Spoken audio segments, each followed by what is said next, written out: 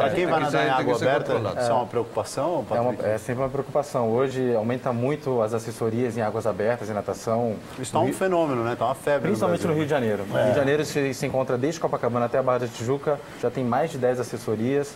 Então os técnicos estão usando o stand-up como ferramenta de técnica. Você está em cima do stand-up, está olhando até 40, 50 alunos e consegue ter uma amplitude muito maior que se tivesse só com o queixo fora d'água. Mas eu queria falar um pouquinho do esporte extremo, que a gente está falando do Brasil é um país lito- é, com litoral muito vasto, esporte extremo. O Brasil tem tudo para ser campeão mundial de surf esse ano. Tem tudo. É, o Mineirinho e o Medina estão surfando muito. É, o Austrália e Estados Unidos vivem uma entre safras e entre os 15 melhores surfistas do mundo, quem tem mais quantidade é o Brasil.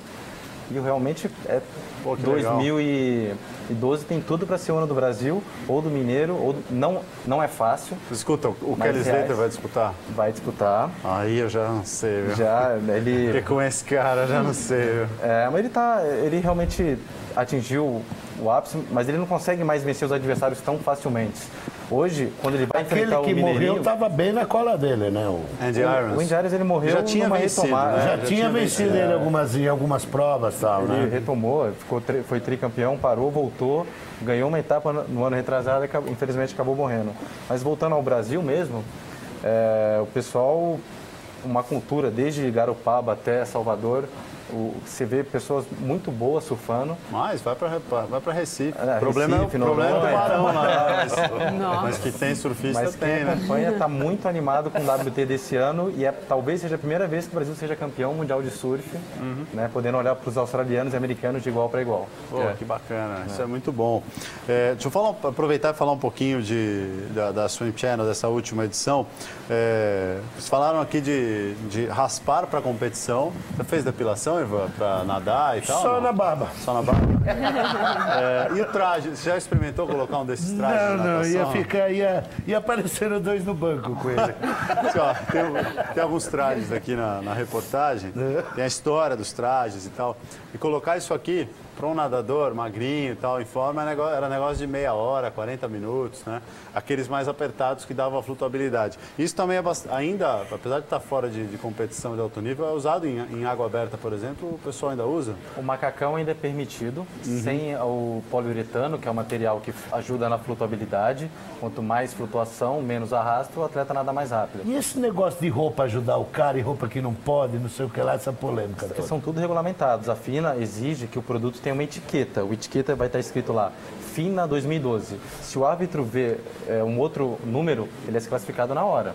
Não, então todos são Mas tem como a roupa ajudar o cara mesmo? Tem, tanto é que é, no ano de 2008 foram batidos 109 recordes mundiais no único ano. Se você- o homem evoluiu mais em nove meses do que em nove anos. É o que fala nessa reportagem da Swim Channel. Ela fala sobre a evolução dos trajes tecnológicos da década de 90 até o Faskin 3, que é o grande traje agora para 2012. Mudou, só pode ir até o joelho, que chama bermuda, ou em inglês chama-se jammer. Mas as marcas agora, eles trabalham um conceito não só da bermuda, e sim a vestimenta completa do nadador.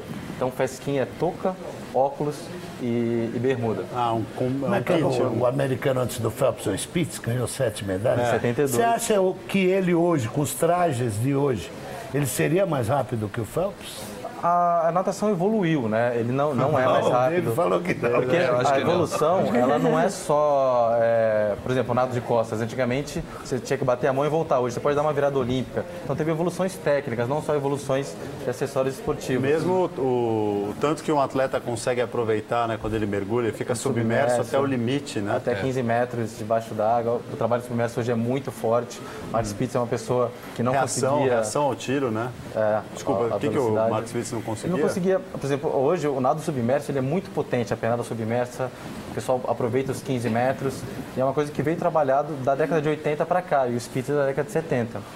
E ele usava bigodão, cabelão. Mas Bigodão prendia água. é, uma coisa interessante agora também dos óculos e toucas, elas, eles também são regulamentados pela FINA, tem que ter um selo, FINA Federação de Natação. Uhum. E nesse novo óculos, você tem um, um fit point mark na, no nariz e na touca. Aí quando você coloca os dois, você tem que sincronizar e aí que diminui o arrasto. Pô, que E legal. na bermuda, você estava falando, pô, como é complicado colocar uma bermuda. Também existe uma linha. A partir do momento que você põe a bermuda e a linha estiver torta, é porque está com ruga. Você tem que trazer a linha exatamente perfeita. aí Colada, você, colada. Aí você elimina todo o atrito da bermuda, que é Quem, evolução. quem descobriu esse negócio de que depilar o cara vai mais rápido? depilava é uma. Na verdade, assim, 50% seria por causa do atrito. Mas o resto é sensibilidade com a água. É, quando você se raspa, realmente você, é, parece quase que uma escama, um lambari, um peixe, né? Então, é, um pouco é, é o atrito. É, peixe não tem pelo, Mas né? primordial é a sensibilidade da pele com a água. É. Essencial. Muito legal. Bom, em Indianápolis, quem a gente vai ver? Quem que o assinante pode ficar ligado? Hoje em Indianápolis tem a prova do 100 metros nado livre e 100 metros nado borboleta com Michael Phelps na final A. O Ryan Lott, que hoje, junto com o Phelps, é o melhor nadador do mundo, na- no período de base, ele é um nadador que compete muito pesado, ele é muito mais forte fisicamente que o Phelps. Então, nas competições intermediárias, ele nada muito mal. Ele não se classificou entre os oito. Então, se- a gente vai ver Michael Phelps na final A do 100 metros nado livre e 100 metros nado borboleta. E o Ryan Lott na final B. Não quer dizer que o Lott está mal, mas quer dizer que no período de base, ele realmente é muito atrás do Michael Phelps, Thiago Pereira e todo mundo. Te- Vamos ter dois brasileiros na água. Um é o João De Luca. João De Luca vai nadar a final do 100 metros nado livre. Ele que briga por uma vaga no revezamento 4 por 100 livre. Né? O pessoal pergunta, o revezamento brasileiro tem chance? Tem chance. No- do- e tem três nadadores que estão praticamente garantidos. César Cielo, Bruno Fratos, Nicas Oliveira. A quarta vaga é uma briga entre 10 atletas. E o João De Luca tá babando por essa vaga. Ele que é especialista nos 200, mas também nada muito bem o 100. E no feminino, no 100 borboleta, a gente vai ter a Dainara. A Dainara, que é especialista no nado borboleta, está na final A e representando aí a evolução da natação feminina. Bem legal, bacana. E vamos, vamos dar uma passada pelos jogos deste sábado, Final Four, eh, Louisville e Kentucky, né? Obrigado, David. Um Obrigado prazer. a vocês. Muito obrigado. Obrigado. Agradeço também ao Patrick Winkler, que é editor da revista Swim Channel. Deixa eu mostrar de novo aqui, derrubei o copo. Não- Felizmente estava vazio. Está aqui a Swim Channel, ó. Essa é a, é a edição mais recente e você vai ver aqui no Band Tá Esportes. até molhada, né? Tá até molhada. Não, não cheguei a. Ia ser, ia ser incrível. Já Ia ser- pensou, Ia ser, ia ser É. cenografia pesada se eu fizesse isso. Né? Tá sequinha a revista e cheia de informação. É, swimchannel.com.br, né? O site para o pessoal que estiver interessado. Né? né? É, muita gente pergunta de informação no Facebook, tem informações diárias sobre os principais eventos e atletas da, da natação mundial.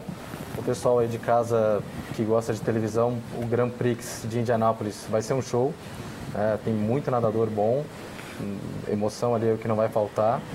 E curtem a televisão. Legal, Patrick. Obrigado pela visita mais uma vez. Grande abraço para você. Ivan Zimmermann, bom trabalho aí nos próximos dias. O que, que tem? Amanhã tem Amanhã dois no tem banco. dois no banco, a volta, né? E o Celso estava tava de férias. Quanto tava- você já perdeu?